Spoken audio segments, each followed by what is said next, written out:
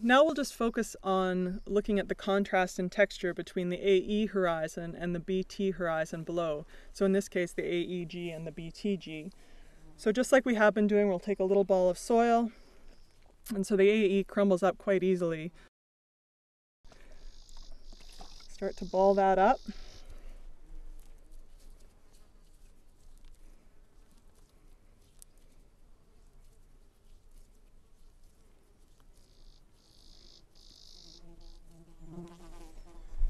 Okay, so it, it does hold together quite well. So it's not uh, it's not a pure, uh, it's not overly sandy. It does hold together well, indicating that there's still a little bit of clay left in here. But once we start to work a little bit of the moisture out of this and try and form it into a ribbon, we see that it, it, it's basically a really weak ribbon. It doesn't hold together overly well.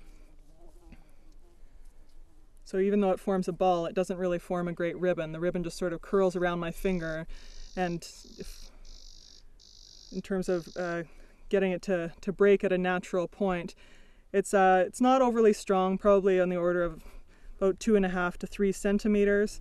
And so I would, uh, I would look at this then and say that this is probably tending towards a bit towards the uh, a, a, a loamier, uh, a loamy structure.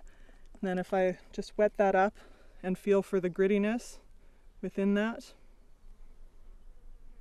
can feel that there's a bit of uh, a bit of grit here, so a bit of sand. So maybe this would be fall into the category then, probably fall into the category of a, of a sandy a sandy loam, uh, sandy loam texture within this AEG horizon. So now if I just take a moment here and try and look at the contrast now between this and the horizon underneath it, that gives us uh, basically a, a good idea of what the major processes are that are contributing to the uh, the the contrast that we're seeing here. So now I've got a sample here of the of the BTG horizon, and so even if I just put it together without adding any water to it, you see that it holds together very strongly, indicating that there is a lot of clay present in this.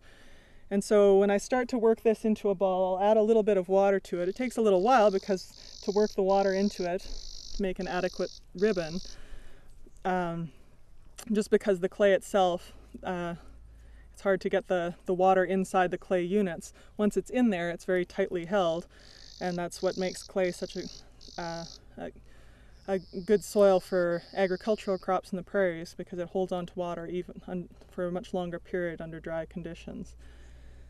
So it holds together very strongly. You can see it basically looks like plasticine or modeling clay already.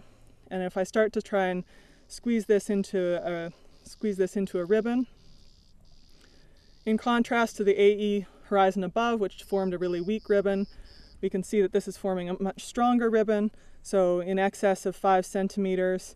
And even when I was playing around a little bit earlier with this particular soil, I was actually able to form a ribbon that was uh, seven or eight centimeters long here. Oh, almost actually up to 10 centimeters. So it's got a significant amount of clay associated with this. So this would be the glacial till parent material, and we would call this a clay textured uh, glacial till parent material.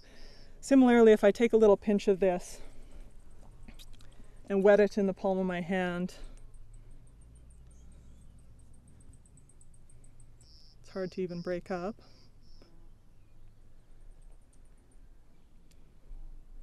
But there's there's still a little bit of grit associated with it because it is a till. It's not just a pure clay soil. So it would probably be a, uh, a clay or even a sandy clay texture till material. And we know that it's till because we found quite a few large stones as we were digging up this soil pit. We found a number of stones within the BT horizon as well.